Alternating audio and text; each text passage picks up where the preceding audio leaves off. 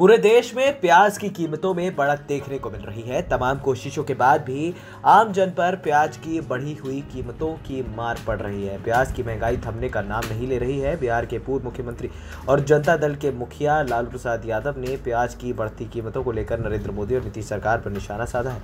लालू यादव ने प्याज की कीमतों में आई उछाल पर केंद्रीय खाद्य आपूर्ति मंत्री रामविलास पासवान को भी घेरा है। लालू ने ट्वीट कर कहा कि मोदी, पासवान और नीतीश राज में पियजवा अनार हो गई लालू का इशारा था कि प्याज की कीमतें अनार की कीमतों के करीब पहुँच चुकी हैं। देश भर में प्याज की कीमतें आसमान छू रही हैं और ऐसे में लोग प्याज के आँसू रोने पर मजबूर हैं।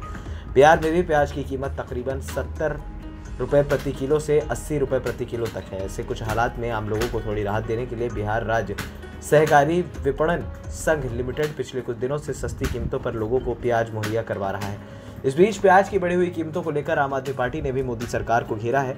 आम आदमी पार्टी के नेता संजय सिंह ने कहा कि प्याज की बढ़ती कीमतों पर देश की जनता प्याज के आँसू रो रही है।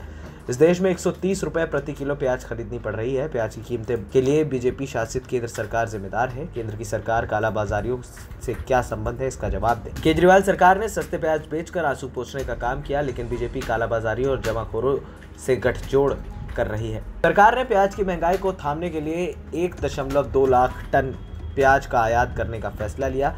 मगर दिल्ली के आज़ादपुर मंडी के कारोबारी और ओनियन मर्चेंट एसोसिएशन के अध्यक्ष राजेंद्र शर्मा के आंकड़ों पर विश्वास करें तो देश में तकरीबन पचास हज़ार से साठ हज़ार टन रोज़ाना प्याज की खपत होती है। ऐसे में एक दशमलव दो लाख टन प्याज विदेशों से आने पर यह महज दो दिनों की खपत के बराबर होगी। एल न्यूज़ रूम की रिपोर्ट।